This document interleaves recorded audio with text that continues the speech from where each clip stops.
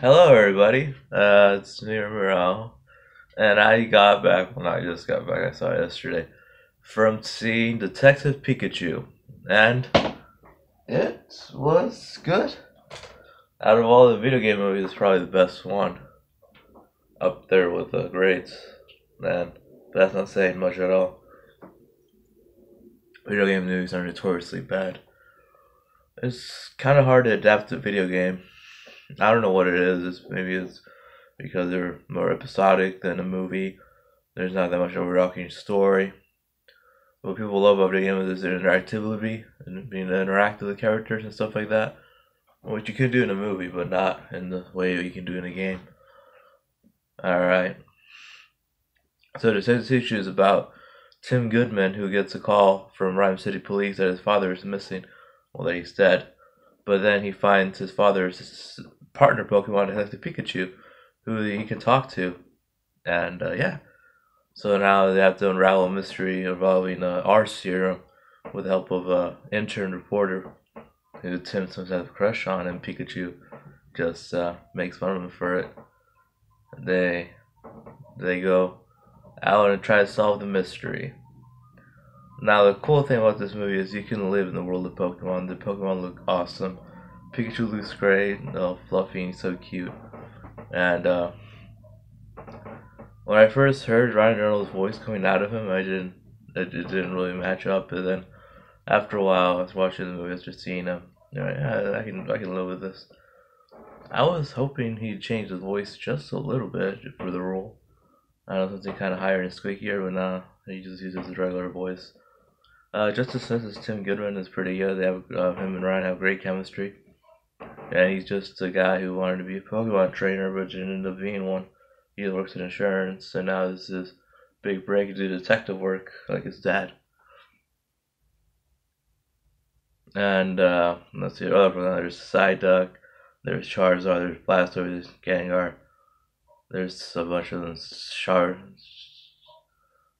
Car, um, Charmander, Bulbasaur. What's the other ones? There's some new gen Pokemon too. The Panchu.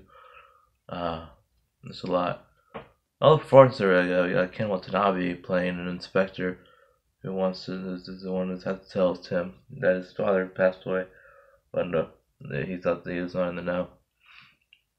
Bill Nighy plays a guy who created Rhyme City because he believes Pokemon should be together with humans, and there's no Pokebattles except ones that are underground, which uh, Tim has to go to to find out more about the R serum.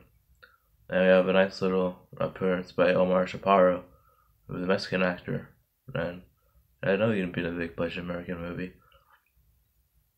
Uh, so the main villain, there's a twist with him, but uh, his, I'm not sure. His motivation is a little weak. I don't know. Uh, I was more interested in Chase Pikachu and Tim solving the mystery than the actual villain's motivation. It involves Mewtwo, it involves the R serum, it involves a bonding of Pokemon and human, kind of like you wanted to. There's a twist who is a villain. Uh, it's not.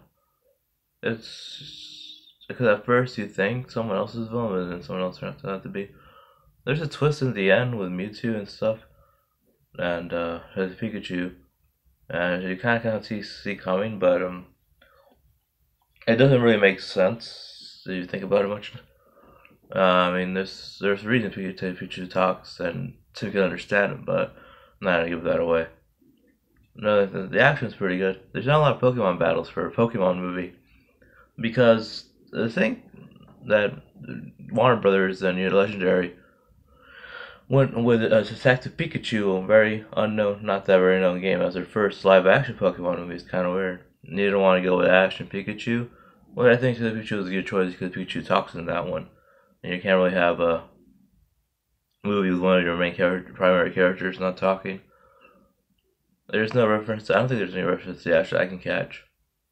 No, fucking Matt from Game Theory or Film Theory or whatever. And thinks that this Pikachu is Ash's Pikachu, which I don't know. Could be. There's nothing that indicates it would be the another what else can I say? Performances are good. The action's pretty nice. I wish there's more Pokemon battles. That's what you want for Pokemon movie, Pokemon battles. The interaction between Ryan Reynolds and Justice Smith as Pikachu and Tim is pretty good. Uh, there's there's a little bit of a breakup between them in the middle, kind of like every detective movie. This movie does feel like a detective movie. You, you learn stuff. You said there's actually a lot like Who Framed Roger Rabbit, actually. Not in this, just in the style, but in the story too. A few nods here and there. What else to say? What else can I say about this movie? Oh, they're giving out free Pokemon cards. I didn't get mine. I wish I did. I used to play Pokemon. I was gonna watch this movie with a girl. Yeah, a girl. This is my friend. Uh, she loves Pokemon. She, she, uh, she, um, she used to play cards. I used to play with her. I used to go to tournaments with her. I'm not very good. Yeah, I mean, what else can I say? The movie's good overall. Some minor complaints here and there. Uh, what else can I say? Like I said, one of the twists is good. It just doesn't make a lot of sense. When you really think about it, especially with Tim. The twist of the villains, pretty good reveal. The you get to learn a lot about Pikachu. You get to see him drink a lot of coffee. that was funny. Just watch Pikachu drink coffee. He loves it. He's a he just caffeine. Whereas he says in the trailer, these are choices. I can stop whenever I want. Unless you don't see him drink, you see him a lot of coffee. So as you in the beginning, Tim doesn't want a Pokemon partner, but uh, he ends up having a relationship with his Pikachu, which is something he hasn't had. I think in the beginning you see him try to catch a Cubone or something, which is a pretty funny scene. Uh, I think one of the guys from Deadpool's in it, the Dopinder, I think. I'm not sure. It looks a lot like him if I'm wrong. The girl who plays the reporter is nice. Uh, Tim and her have a little bit of a, not really a romance, they don't really get together at the end which is great. This movie doesn't need a romance. It really needs a bromance between Pikachu and Tim. That's that's the relationship we need. That's the relationship we need to focus on. Having a whole side sub story would have kind of been detrimented from the film. And we get that a lot of kids movies. The girl the guy likes. Uh, well, there's some stuff that indicates that Tim does like the girl. And Pikachu, I was giving him shit about it because he's not very good. He's not very charming with her. Yeah.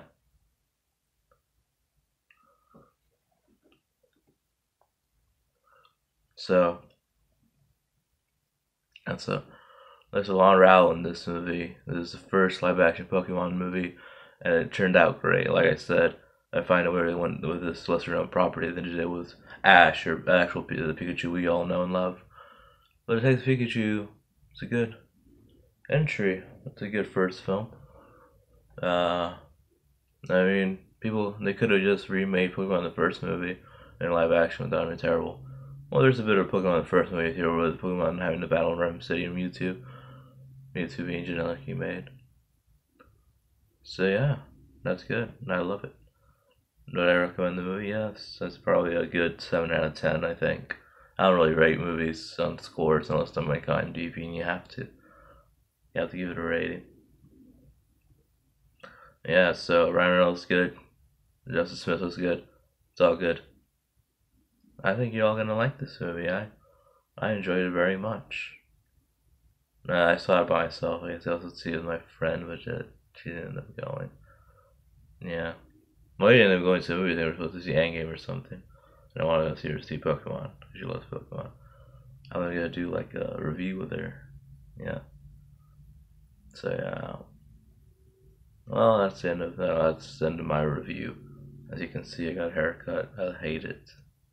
I think I showed a picture of Bruce Campbell to the lady. This is what she gave me. And I look nothing like Bruce Campbell. I know.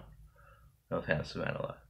Alright, so we're waiting for that uh, Dorado Retrospective Honest review. It's coming out soon.